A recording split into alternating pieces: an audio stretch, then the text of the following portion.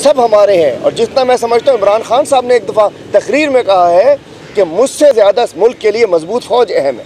हम समझते हैं कि अगर हमारी फ़ौज कमज़ोर हो तो हमारा हाल सीबिया शाम इन इन इलाकों जैसा हो जाए हमारा, मिसर जैसा। लेकिन हम अपनी शोदा अपनी गाजियों की कदर करते हैं। लेकिन मैं कहना चाहता हूँ, अगर कोई इल्ज़ाम है किसी शख्स पर, किन लोगों पर एफ़ आई आर होनी चाहिए एफ़ आई आर के बाद तफ्तीश का अख्तियार पुलिस के पास है। अगर तफ्तीश में गलत हो जाती है एफ़ आई आर तो एक सौ बयासी होता है ना कार्रवाई। एक सौ बयासी कर दें जिसमें निकाल दें, केस दाखिल करते हैं उड़ता। ये नहीं हो सकता कि मुल्क के सबसे बड़े अवामी लीडर के ऊपर सबक वजी अजम पे कातलाना हमला हो और वज़ी अजम इमरान खान साहब, जो हमारे दिलों के वजी उनको भी इंसाफ ना मिले। मैं आज इस अदालत के सामने खड़े होकर कह रहा हूँ, पाकिस्तान में ये निज़ाम तबाह बर्बाद हो चुका है। हर चीज़ कंप्रोमाइज़ हो चुकी है।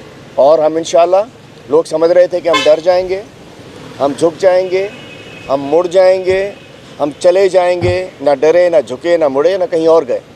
अलहमदिल्ला जुमेरात से हमारा हकीकी आज़ादी मार्च दोबारा शुरू होने जा रहा है। इन वज़ीराबाद से उसी जगह से शाह महमूद कुरैशी साहब लीड करेंगे और उसको लीड करते हुए पिंडी जाएँगे। फैसलाबाद डिवीज़न से असद उमर साहब उसको लीड करेंगे, उसको लीड करते हुए पिंडी जाएँगे। पिशावर वैली से हमारे महमूद ख़ान साहब, दीगर रहनुमाओं के हमरा उसको लीड करेंगे, लीड करते हुए पिंडी जाएँगे, इस्लामाबाद की तरफ़ जाएँगे। हज़ारा डिवीज़न से परवेज़ खटक साहब उसको लीड करेंगे और लीड करते हुए उसको इस्लामाबाद आएँगे। इसी तरीके से मुख्तलिफ़ मुख्तलिफ़ इलाक़ों से मुख्तलिफ़ रहनुमा लीड करेंगे और इन हमारे चेयरमैन, हमारे दिलों के वज़ी अजम हमारे लीडर, हमारे कायद, हमारे रहबर इस कौम के रहबर इमरान खान साहब इन जब ये तमाम तमाम हमारे जो जुलूस हैं, ये इस्लामाबाद पहुँचेंगे पिंडी, रावलपिंडी पहुँचेंगे, इमरान खान साहब वहाँ, उसको आगे ज्वाइन करेंगे। और मैं बताता चलूँ, खान साहब से मैं हमले के दूसरे दिन मिला था। अल्लाह ताला ने कौम को एक तोहफ़ा दिया इमरान खान।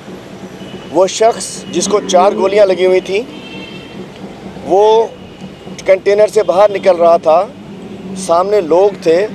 अगर खौफ होता तो वो भी नीचे से छुपते हुए आते, उस वक्त भी हाथ हिलाते हुए मुस्कुराते चेहरे के साथ गए थे। इसलिए कि वो पैगाम देना चाह रहे थे कि हिम्मत बना के रखें। और मैं पूरी कौम से कहता हूँ, इमरान खान साहब ने आपके लिए, कौम के लिए, पाकिस्तान के लिए एक दफ़ा तो अपनी जान दे दी है ना जी। उनकी तो जान ले ली गई। अगर वो जो पहला ब्रश लगने के बाद वो नीचे ना गिरते, दूसरा ब्रश तो उनके ऊपर से गुजरा था। चले गए थे। जो टांग में जो दो गोलियाँ लगी हैं थाई में, वो, जो हमारी ब्लड की शरियान के करीब से गुजरी सेंटीमीटर्स में रुकी हुई हैं। अगर वो लग जाती, बीस मिनट के अंदर जा चुके थे वो। तो ये हो रहा था, बहुत बुरा हो रहा था, लेकिन कहते हैं कि मारने वाले से बचाने वाला बढ़ता है, बड़ा होता है। वल्ला खैर माकरीन।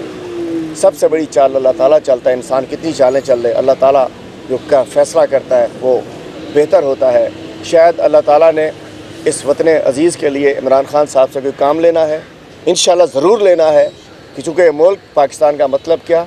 ला इला के ऊपर इसका क्याम हुआ था तो मुझे उम्मीद है इन उसकी तकमील के लिए इमरान खान साहब इन दोबारा क़्यादत करेंगे। और मैं समझता हूँ, मैं समझता हूँ कि जैसे इमरान खान साहब इस्लामाबाद के करीब पहुँचेंगे, ये दुम दबा कर ये चूहे बिलों में छुप जाएँगे। ये चूहे बिलों में छुप जाएँगे और ये दीगर जो बागड़ बिल्ले हैं, ये दुम दबा कर भाग जाएँगे। और इन एक दफ़ा और इमरान खान साहब पाकिस्तान के दो तिहाई अक्सरियत के साथ वजी अजम होंगे। Thank you sir